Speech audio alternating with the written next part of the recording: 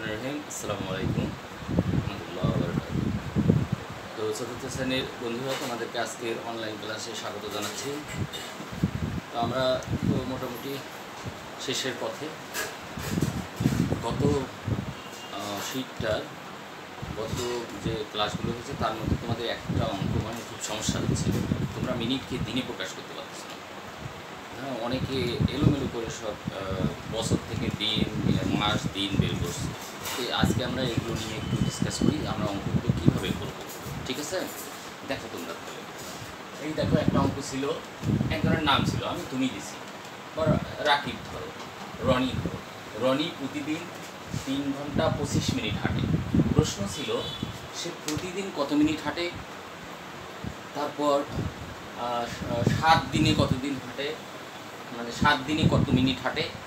আর বলছে যে, এক মাসে কতদিন হাঁটে? তোমরা অনেকে মনে করছ এক মাসে তো প্রতিদিনই হাঁটে। তাহলে এক মাসে তিরিশ দিনই হাঁটে, সেটা বলেনি। প্রতিদিন যদি সে তিন ঘণ্টা পঁচিশ মিনিট করে হাঁটে, এক মাসে কত ঘণ্টা, কত মিনিট, কত দিন হাঁটবে, সেটা তোমার দিনে প্রকাশ করতে বলছে এই কথাটা। তাহলে আমরা ধীরে ধীরে আসি। এই যে দেখো, সে প্রতিদিন বা তুমি বা সে যে কোনো একটা লিখলে হয়, সে বা রনি এখানে লিখে নাও। তাহলে আমি সে দিয়ে অঙ্ক করি। সে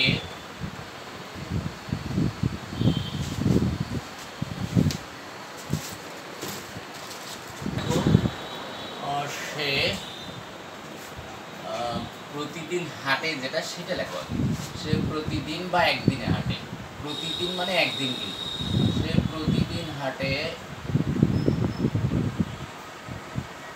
সে প্রতিদিন হাঁটে কত? তিন ঘণ্টা। এই দেখো, এই ধরনের যত অঙ্ক, বছর, মাস, দিন, সবগুলো তারপর কিলোমিটার, মিটার, সেন্টিমিটার এগুলো কীভাবে তোমরা সেন্টিমিটারে প্রকাশ কর- করবা বা কিলোমিটারে প্রকাশ করবা বা দিনে প্রকাশ করবা বা ঘন্টায় প্রকাশ করবা, একইভাবে সব করতে হবে। এই আমি এই অঙ্কটা তোমরা স্ট্যান্ডার্ড ধরবা। এই অঙ্কটা যেভাবে করব, সেইভাবে সবগুলোই করবা। পরিমাপের সব অঙ্ক। তাহলে তিন ঘণ্টা পঁচিশ মিনিট। এখন বলছে প্রতিদিন কত মিনিট হাঁটে আমরা অর্থাৎ ঘণ্টা আর মিনিটটাকে আমরা টোটাল মিনিটে প্রকাশ করব। এখানে লেখো আমরা জানি কি, ষাট মিনিট সমান এক ঘণ্টা। ঘন্টাকে যদি আমরা ষাট দিয়ে গুণ দেই, তাহলে কিন্তু মিনিটে প্রকাশ হয়ে যায়। তাহলে তিন গুণন ষাট। তাহলে যখনই তোমরা ষাট মিনিটে এক ঘণ্টা ষাট দিয়ে গুণ করবা, তখনই কিন্তু এটা মিনিট লিখতে হবে। অনেকে এখানেও ঘণ্টা লিখছে। হবে না। যখনই তোমরা গুণ করবা, তখন এটা মিনিটে পরিণত হয়ে গেল। এটা অবশ্যই মিনিট লিখতে হবে। বুঝছ? তারপর যখন এটা মিনিট হলো তাহলে আমরা একসাথে করব যোগ চিহ্ন দিয়ে দিতে পারি। ওখানেও যোগ চিহ্ন দেওয়া যায়, সমস্যা নেই। যে এই পঁচিশ মিনিটটা এই তিন ঘণ্টার সঙ্গে যোগ হবে। এখন মিনিট মিনিট হয়ে গেল, আমরা যোগ দিতে পারি। হ্যাঁ এখন আমরা এই সাইড এইখানে সাইড কোথায় পেলাম? ষাটটা কোথায় পেলাম? সেটা আমরা এখানে সাইডে অবশ্যই লিখে দিব। তোমরা উপরেও লিখতে পারো, এখানেও লিখতে পারো, কিন্তু মাঝখানে লিখলে অঙ্কগুলো এলোমেলো হয়ে যায়। ওই জন্য এক সাইডে লিখে। পাশে। তাহলে এক ঘণ্টা সমান এক ঘণ্টা সমান ষাট ষাট মিনিট। এটা এখানে লিখে দিবা। পাশে লিখে দিবা। এলোমেলো করো না। এখানে একবার লেখো, এখানে একবার লেখো। ওটা এলোমেলো দেখায়। সিরিয়ালি লেখো, গোছায় লেখো, সুন্দর দেখাবে। এখন তিন দিয়ে ষাটকে গুণ করলে একশো আশি হয়। তাহলে এটাও মিনিট। হ্যাঁ? যোগ পঁচিশ মিনিট। টোটাল তোমরা এখানে লিখবা। আমার জায়গা একটু বাঁচানোর জন্য আমি এখানে লিখতেছি। আর একশো আশি আর পঁচিশ, দুইশো পাঁচ মিনিট। বুঝছ? এই একটা অ্যান্সার দেখো। সে প্রতিদিন কত মিনিট হাঁটে? যে মিনিটে প্রকাশ হয়ে গেছে। এখন বলছে এটা কিন্তু লাগবে। প্রতিদিন যে অংশটা হাঁটে, যত মিনিট হাঁটে, এটা আমরা একসাথে এক পাশে লিখে রাখি। এই যে দুইশো পাঁচ মিনিটটা তুমি লিখে রাখব, এটা লাগবে। তারপর ক নম্বর ছিল? ক নম্বর এলোমেলো করে দেওয়া ছিল। সে এক মাসে কতদিন হাঁটে, এরকম ছিল। তা আমরা সিরিয়ালি করি। সে প্রতিদিন কত মিনিট হাঁটলো, তারপর সে এক সপ্তাহে কত মিনিট হাঁটে, সেটা বের করি। তাহলে আমরা জানি কি ওই এক সপ্তাহ সমান সাত দিন ওটা তোমরা পাশেও লিখতে পারো। ঠিক আছে? লেখো, বা উপরেও লিখতে পারো এটা। এটা ছোট অঙ্ক, উপরেও লিখতে পারো। এক সপ্তাহ সমান, এটা একবার ইউজ আছে তো?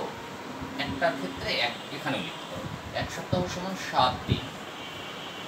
এখন দেখো, সে প্রতিদিন কতটুকু হাঁটে? পঁচিশ, দুইশো পাঁচ মিনিট। তাহলে এক সপ্তাহে, অর্থাৎ সাত দিনে কত মিনিট হাঁটবে সেটা বের।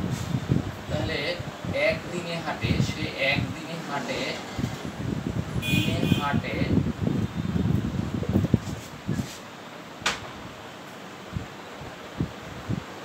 দুশো পাঁচ মিনিট অতএব সাত দিনে হাঁটে। দুশো পাঁচকে আমরা সাত দিয়ে গুণ দিই তাহলে বের আসছে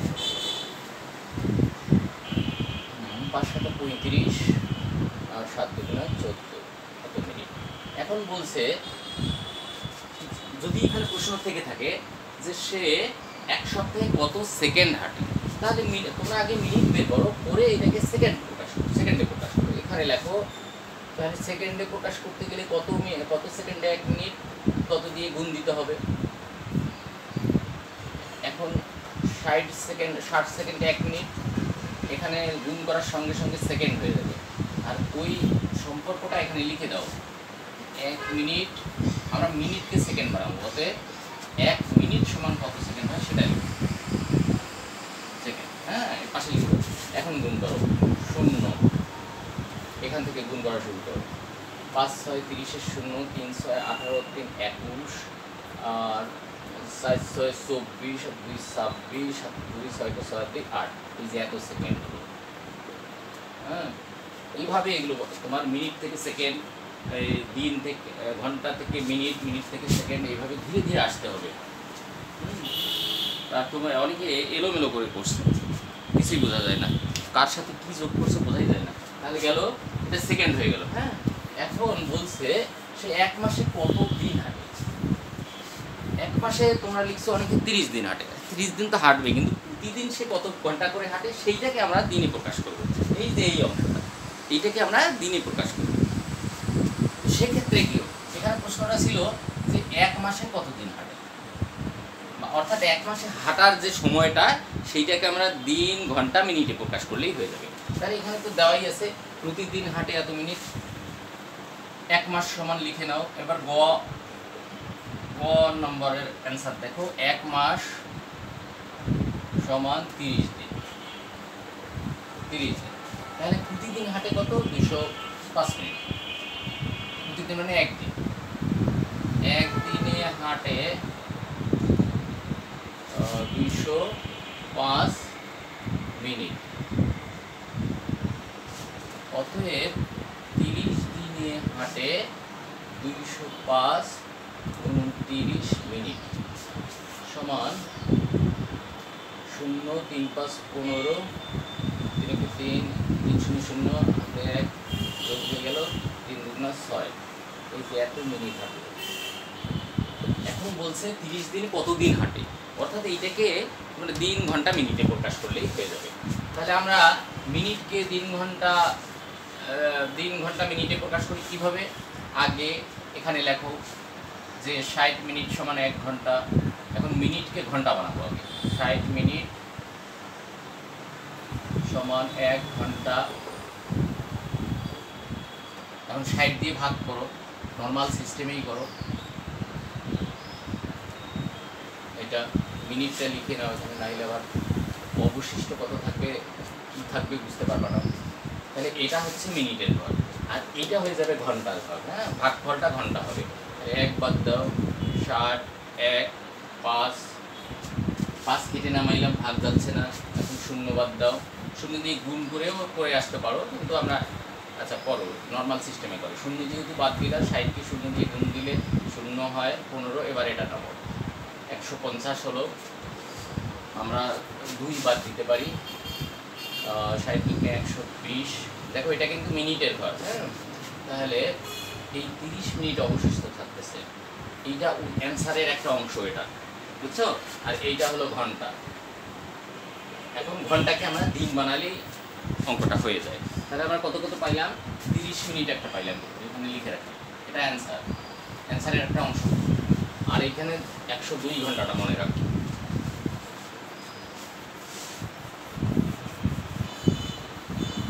এখন আসো। ঘন্টাকে আমরা দিন বানাবো। তাহলে ঘণ্টা, তাহলে চব্বিশ ঘণ্টা সমান একদিন। চব্বিশ ঘণ্টা সমান একদিন। আমরা যে ওখানে একশো দুই ঘণ্টা পেলাম, ওইটাকে চব্বিশ দিয়ে ভাগ দিই। দেখো, চব্বিশের মধ্যে এটা চার, চব্বিশে ছিয়ানব্বই এই যে এইটা কিন্তু ঘণ্টা। ছয় ছয়ের মধ্যে ছয়। এই যে ছয় ঘণ্টা অবশিষ্ট রইল, এটাও একটা অ্যান্সারের অংশ। এটা একটা অংশ, এটা একটা অংশ, আর এইখানে বের করে দিন এই যে ভাগ করলাম না, এটা কিন্তু অঙ্কের একটা পার্ট তোমরা এটা আবার রাগ মনে করিও না। এটাও কিন্তু অঙ্ক। এখন অ্যান্সার লেখো। এই যে দিন দিনে প্রকাশ হয়ে গেছে। অতএব সে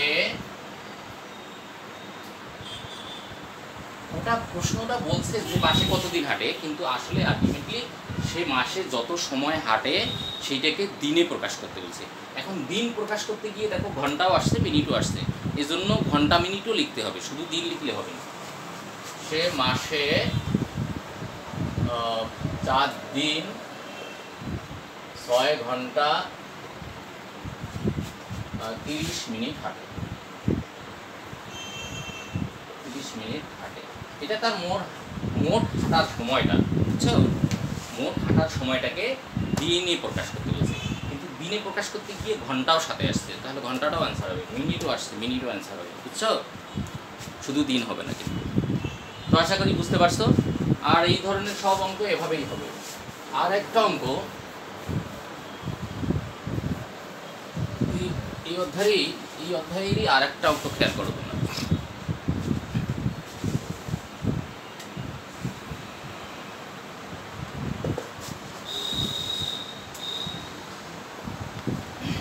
আচ্ছা ওই যে মাসুদা খানম বা রহিম সাহেব অফিসে ছুটি কাটাইছে।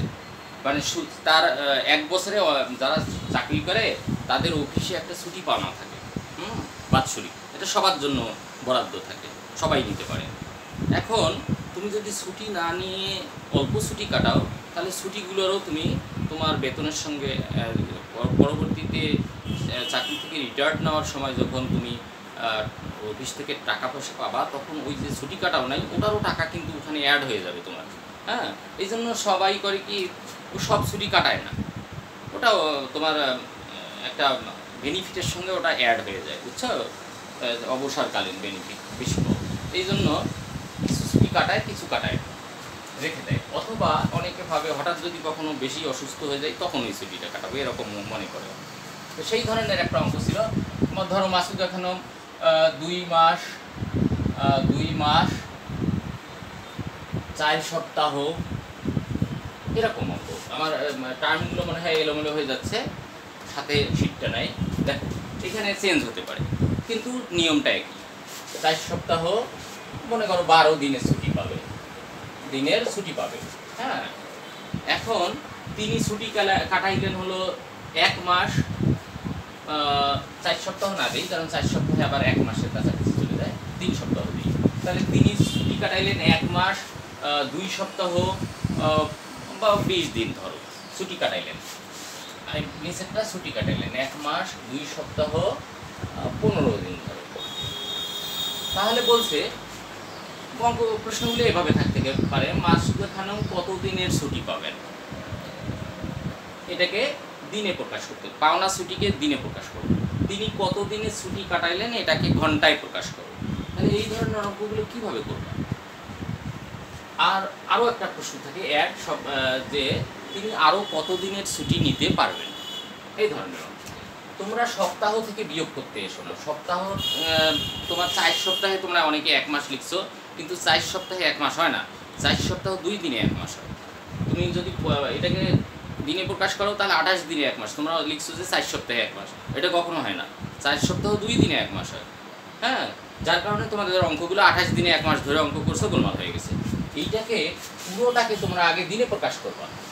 এই যে, প্রথমে লেখো, তার পাওনা ছুটিকে দিনে প্রকাশ করি। তাহলে কীভাবে করবা? তার পাওনা ছুটি এই জায়গায় লিখবা, তার পাওনা ছুটি দুই মাস, তিন সপ্তাহ তিন সপ্তাহ বারো দিন। হ্যাঁ? আচ্ছা আবারও বলে নিই, এই সংখ্যাগুলো কিন্তু তোমার শীটের সঙ্গে না মিলতে পারে চেঞ্জ হয়ে যেতে পারে। তো ওই একই এটা যেভাবে করে দিচ্ছে, ওটাও সেভাবেই করবা। তাহলে এটা কি দিনে প্রকাশ করবা কীভাবে? তোমরা লিখছো, এইখানে অঙ্ক লিখে লিখছো, তোমাদের ভুলটা বুঝাই দিচ্ছি কোথায়, তোমরা যেখানে ভুল করছ। তোমরা লিখছো, এটা লিখে লিখছো, এক মাস সমান তিরিশ দিন তিরিশ দিন। যে ভুলটা করছ, সেইটা কিন্তু, এটা কিন্তু আমি তোমাদের ভুলটা ধরাই দেওয়ার জন্য ভুল অঙ্কটাই করে দিচ্ছি, ভুল যেভাবে করছ। আমি পরে কারেকশন করে দিচ্ছি। তোমরা লিখছো এইখানে। তাহলে তারপর লিখছো, দুই মাস অতএব দুই মাস সমান। অতএব দুই মাস সমান তিরিশ গুণন দুই এত দিন যোগ তিন সপ্তাহ। এইরকম অঙ্ক লিখছো এখানে। অথবা অথবা লিখছো এটা লিখছো হ্যাঁ। তারপরে লিখছো এক সপ্তাহ সব এক সপ্তাহ সমান সাত দিন। হ্যাঁ?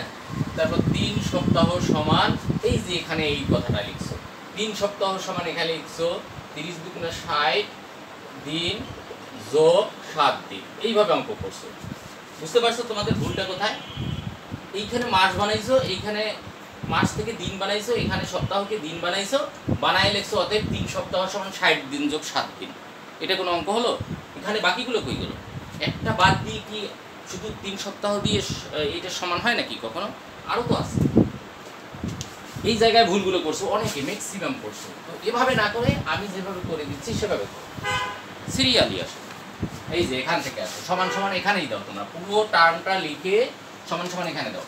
এখানে আমরা একটা অংশ দিন আছে। আমরা বাকি দুইটা অংশকে দিনে প্রকাশ করব। কিন্তু তিনটা অংশই এখানে থাকতে হবে। সমান সমানের পর একটা বাদ দিয়ে কখনো সমান সমান হয় না। এখান থেকে শুরু করব।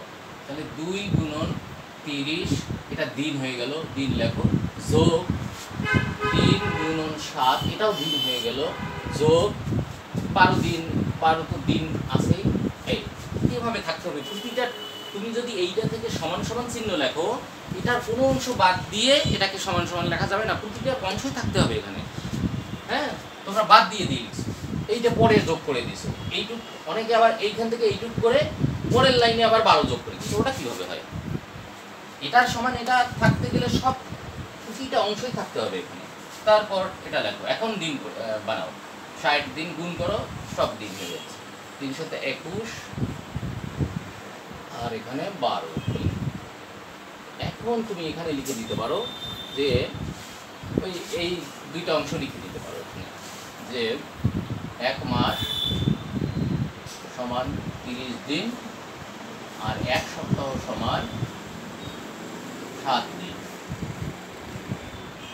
হ্যাঁ এই দুটো অংশ এখন দেখো। তাহলে যোগ করো এখন একাশি আর বারো তিরানব্বই দিন। তাহলে মাসুদা খানমের মোট ছুটি পাওনা হলো তিরানব্বই দিন। এখন তিনি কি কত দিনের ছুটি কাটাইছেন সেটা করো এখন। এটাকে সেম ভাবে এটা করো, করে বিয়োগ করো পরের টার্মে যেটা বলছে যে তিনি আরও কত দিনের ছুটি পাবেন, তাহলে ওই, এই দিন থেকে এই ছুটি নেওয়া দিন বিয়োগ করো, তাহলে যেটা বাকি থাকবে তত দিন পাবেন। আর সেটা যদি বিয়োগ করে এক মাসের বেশি হয়, ধরো বত্রিশ দিন তোমাদের অঙ্কে বত্রিশ দিন আসে। তোমরা বত্রিশ দিন, এখানে যদিও বলা আছে তিনি আরও কত দিনের ছুটি পাবেন, বত্রিশ দিন, তিরিশ দিনের উপরে হলে ওটাকে মাসে কনভার্ট করবা তোমরা। হ্যাঁ যেমন এখানে তোমার মাসে করা আছে, অঙ্কটা মাসেই দেওয়া আছে। তোমাদের আরও কত দিনের ছুটি পাবে সেটা লিখতে হবে মাসে। তাহলে বত্রিশ দিন সমান কি হবে? এক মাস, দুই দিন। হ্যাঁ তোমাদেরকে যদিও দিন বলা আছে, তোমাদেরকে ওটা এক মাসের বেশি হলেই তোমাকে মাসে কনভার্ট করতে হবে। বুঝতে পারছ? এখানে আর সপ্তাহ দেওয়ার দরকার নেই। সপ্তাহ দিলে মাস আনতে পারবে। বুঝতে পারছ? এইভাবে অঙ্কগুলো আরেকটা মিটার সেন্টিমিটার একবারে বুঝে দিই একটু করো। এই যে ধরো, তোমরা এক কেজি পাঁচশো গ্রাম আছে। মিটার সেন্টিমিটার বলছি তো, কে একই কথা, গ্রাম কেজিও একই একইভাবে করতে হয়। তোমাকে যদি বলা হয়, এটাকে গ্রামে প্রকাশ করো, এখানেই করবা। আলাদাভাবে করার দরকার নেই। এক কেজি সমান কত? এক হাজার গ্রাম, এক হাজার দিয়ে গুণ দাও। গুণ দেওয়ার সঙ্গে সঙ্গে এটা গ্রাম হয়ে গেল। যোগ দাও পাঁচশো। এই যে, এভাবে। এখানে লিখে দাও, তুমি কেন এক হাজার দিয়ে গুণ দিলে? সেই টার্মটা লিখে দাও, এক কেজি সমান, সেই সম্পর্কটা লিখে দাও, এক কেজি সমান এক হাজার গ্রাম। হ্যাঁ। তারপর লেখো, এক হাজার গ্রাম যোগ পাঁচশো গ্রাম সমান পনেরোশো গ্রাম। এখন যদি বলে, এটাকে কেজিতে প্রকাশ করো, তখন কীভাবে করবা? এটাকে বলছে কেজিতে প্রকাশ করো। এখন তাহলে গ্রামটাকে আমরা কেজি বানাবো। কেজিটা ওখানে লিখে রাখতে হবে। কেজি বাদ দিয়ে এটা সমান সমান করা যাবে না। কেজি যোগ, এখন পাঁচশো গ্রামকে যদি আমরা কেজি বানাইতে চাই, এক হাজার গ্রামে এক কেজি, এক হাজার দিয়ে ভাগ করতে হবে। ভাগ করার সঙ্গে সঙ্গে এটা কেজি হয়ে যাবে। হ্যাঁ? এখানে লিখে দাও কেন এটা করলা। এক হাজার দিয়ে ভাগ করলে তাহলে সেই সম্পর্কটা লিখে দাও। এক হাজার গ্রাম সমান এক কেজি। হ্যাঁ? তারপর লেখো এখানে। এক কেজি যোগ, এটাকে ভাগ করলে এইরকম দাঁড়ায়। পাঁচ কেজি। শূন্য দশমিক পাঁচ কেজি দাঁড়ায় হ্যাঁ? এই দুটা যোগ করলে দশমিকের যোগ শেখো নাই তোমরা সেই দশ দশমিকের যোগ যারা শিখছো, তারা এটা দেখো, সবাই শিখছো, সবাইকে শেখানো হচ্ছে দশমিকের যোগ, এই যে এত কেজি হলো, বুঝছ? হ্যাঁ তো আশা করি এই টার্মগুলো বুঝলে, আমি যেভাবে করে দিলাম, সেভাবেই করবা হ্যাঁ? নাহলে অঙ্কগুলো সাজানো গোছানো মনে হবে, এলোমেলো হবে না, হুম? তাহলে আজকে এখানেই শেষ করছি, সামনের ক্লাসে তোমাদের সঙ্গে কথা হবে, ততদিন ভালো থেকো, আল্লাহ হাফিজ।